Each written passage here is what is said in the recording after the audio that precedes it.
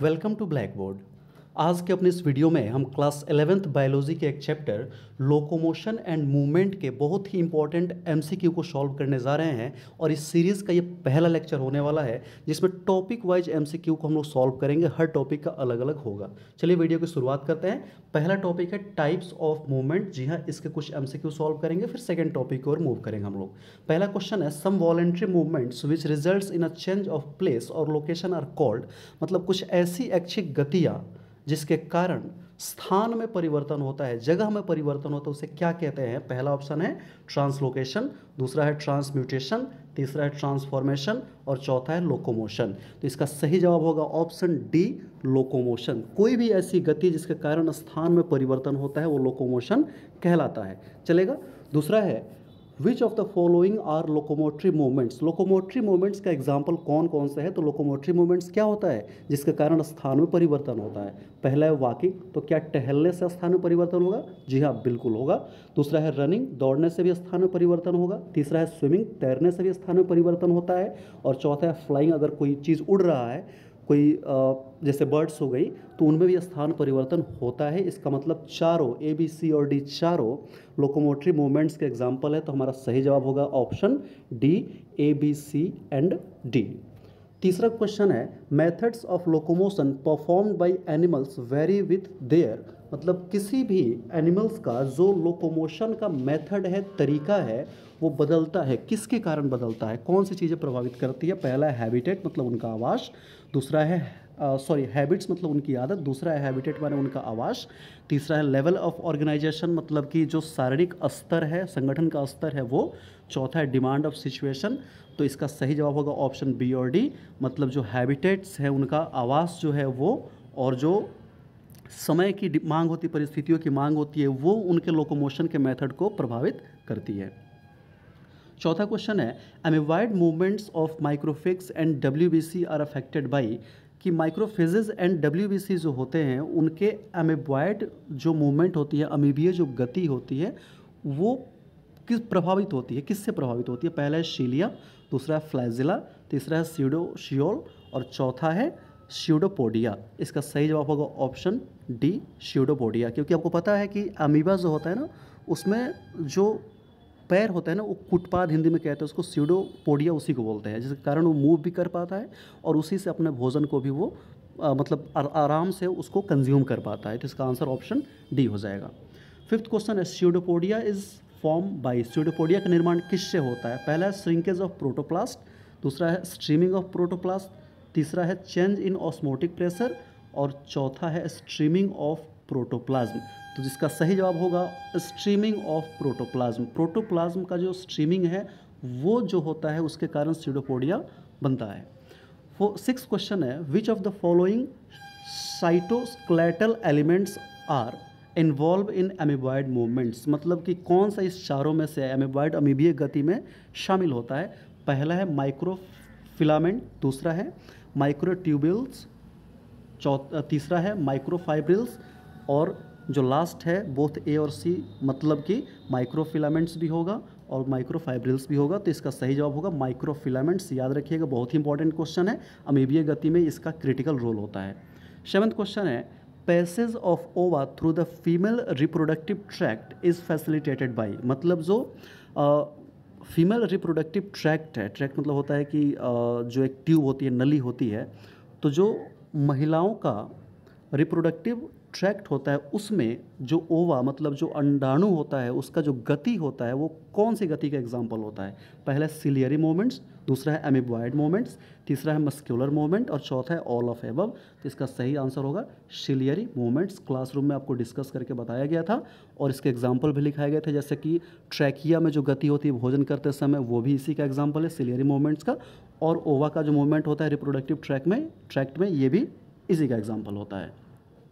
अगला जो हमारा टॉपिक है muscles and structure of contractile proteins ये बहुत ही इंपॉर्टेंट टॉपिक है। इसके क्वेश्चन को हम लोग टैकल करने की कोशिश करने जा रहे हैं।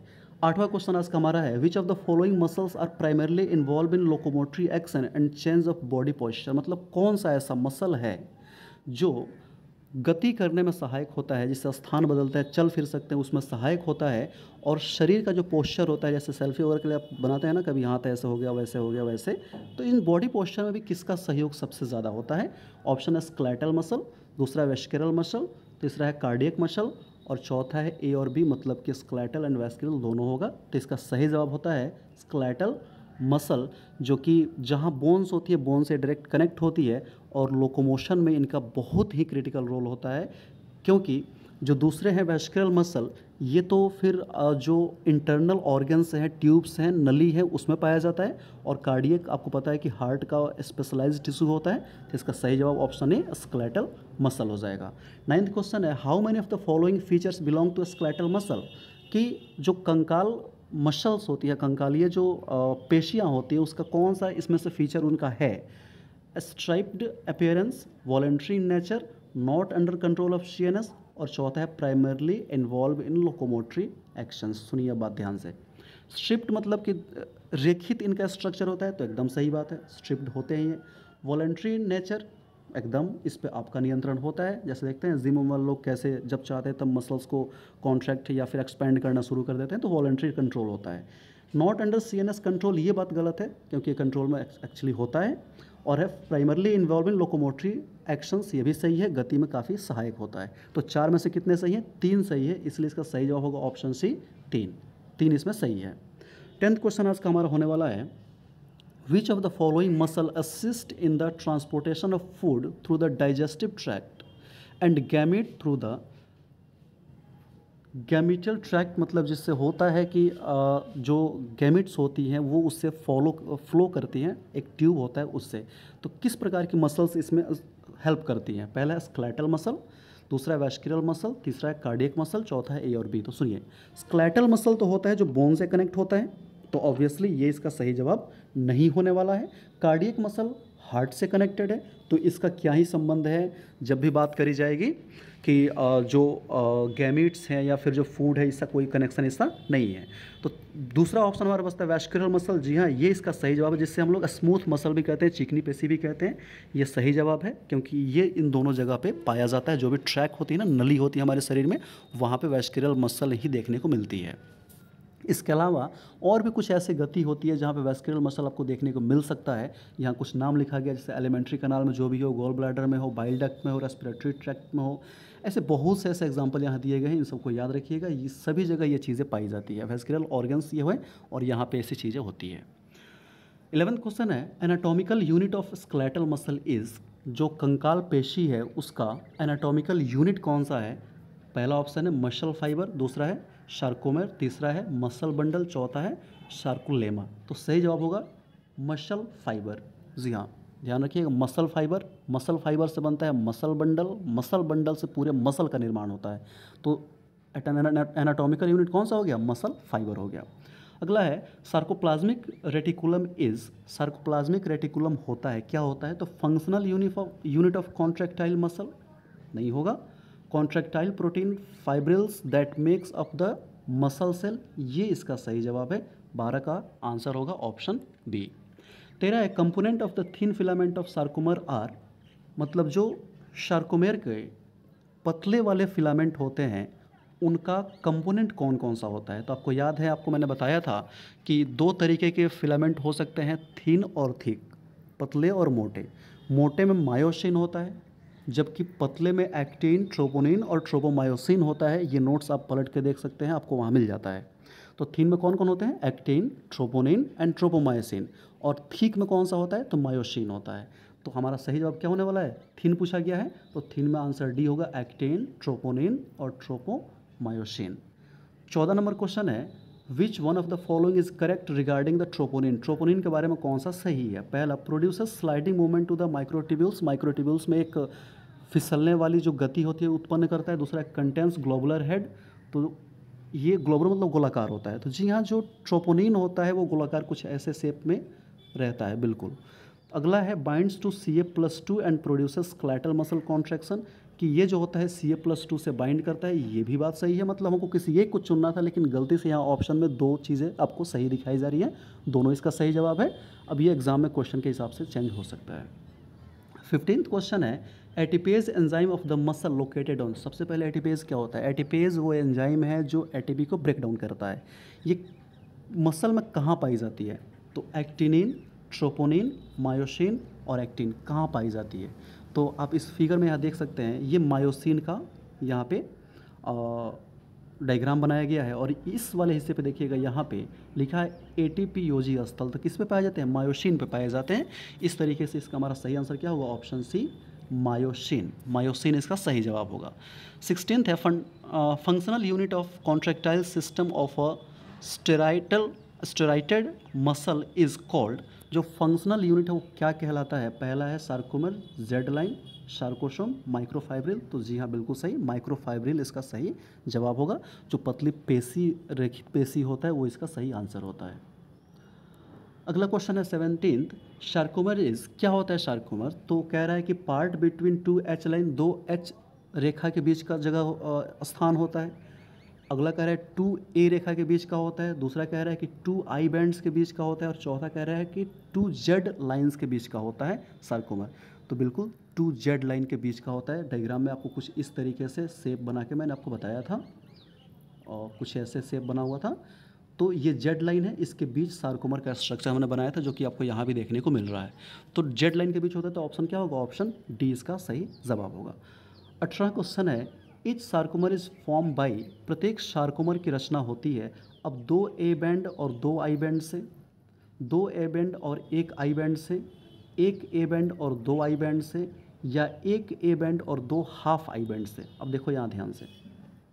ये है आई बैंड ये वाला आई बैंड है, ठीक है? तो ये पूरा आई बैंड यहाँ से यहाँ तक है, लेकिन सार्कोमर में तो आधा ही आता है और इधर भी आता है। मतलब आई बैंड जो है वो आधा है। ठीक है? लेकिन कितने बार आया है? दो बार आया है। तो देखिए तो टू हाफ़ आई बैंड्स यहाँ दिख रहा है। टू हाफ़ आई बैंड्स इसके अलावा जो ये वाला है, ये पूरा यहाँ से यहाँ तक, ये ए बैंड है। तो कितने की ज़रूरत है? हमको ए की ज़रूरत है, एक की। तो one A band and two half I band इसका सही जवाब होगा। ऑप्शन डी अट्ठारह का बिल्कुल सही आंसर होगा। इस डायग्राम में आप देख सकते हैं। नाइनटीन क्वेश्चन है actin protein occurs in which of the two following forms किन दो रूप में होता है?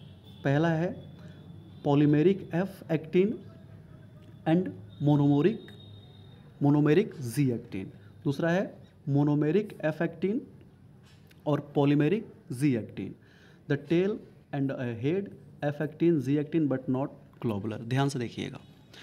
पॉलीमेरिक मतलब पॉलीमर है और मोनोमरिक मतलब मोनोमर एक की बात हो रही है। तो जी एक्टीन जो होता है, वो मोनोमर होता है जबकि एफ़ एक्टीन जो होता है, वो पॉलीमर होता है। इसको आप अच्छे से याद है, कुछ ऐसे करके एक स्ट्रक्चर बनाया गया था, इस तरीके से। फिर एरो देखे, ऐसे बहुत से स्ट्रक्चर इसमें मिला के बनाया गया तो ये जी था और ये एफ़ था एक्टीन में। तो जी वाला मोनोमर था, देखो तो जी वाला मोनोमर था और एफ़ वाला क्या था? पॉलीमर था। तो ऑप्शन ए इसका सही आंसर होने वाला है। नाइनटीन का answer option A polymeric F actin and monomeric G actin अगला हमारा टॉपिक है मैकेनिज्म ऑफ़ मसल कॉन्ट्रैक्शन इसके कुछ क्वेश्चंस को भी देख लेते हैं। पहला क्वेश्चन है ड्यूरिंग मसल कॉन्ट्रैक्शन मतलब मसल जब कॉन्ट्रैक्ट करता है, सिकुड़ता है, तब क्या होता है? पहला chemical energy is change to electrical energy मतलब रासायनिक ऊर्जा जो है, वो वैद्युत ऊर्जा में बदलता है। दूसरा mechanical energy is change to chemical energy मतलब यांत्रिक ऊर्जा, रासायनिक ऊर्जा में बदलता है। तीसरा chemical energy is change to physical energy मतलब जो रासायनिक ऊर्जा है, वो भौतिक ऊर्जा में बदलता है। और चौथा है chemical energy is change to mechanical energy मतलब कि जो रसायन, रासायनिक ऊर्जा है, वो यांत्रिक ऊर्जा में बदलता है। तो इसका सही जवाब ऑप्शन डी होगा। क्योंकि जब मसल कॉन्ट्रैक्ट करता है तो एटीपी ब्रेक होता है, वहाँ एनर्जी रिलीज़ होता है। तो वो एटीपी एक्सटर्नल एनर्जी देता है, जिससे कि आपको ऊर्जा मिलती है। मतलब एटीपी क्या था? रासायनिक रूप में संचित था वहाँ पर एनर्जी वो टूटा तो रासायनिक ऊर्जा बदल रहा है। किसमें? आपको काम करने की क्षमता मिल रही है, आपके मसल्स को एक्सटर्नल एनर्जी मिल रहा है तो मैकेनिकल एनर्जी इसका मतलब सही जवाब होगा option D chemical energy is change to mechanical energy जब मसल कॉन्ट्रैक्ट करता है तो ये सही जवाब होता है। आज के इस लेक्चर में टोटल ट्वेंटी क्वेश्चन ही रहेंगे। आई होप आपको ये पसंद आया होगा। बहुत जल्द इसके दूसरे पार्ट को भी हम आपको सामने लेके आएँगे और साथ में इस चैप्टर से पूछे गए नीट एग्जामिनेशन में जो प्रीवियस ईयर क्वेश्चन है, उसको भी डिस्कस किया जाएगा। आई होप आपको सब कुछ क्रिस्टल क्लियर हो गया होगा। Thank you for watching thank you very much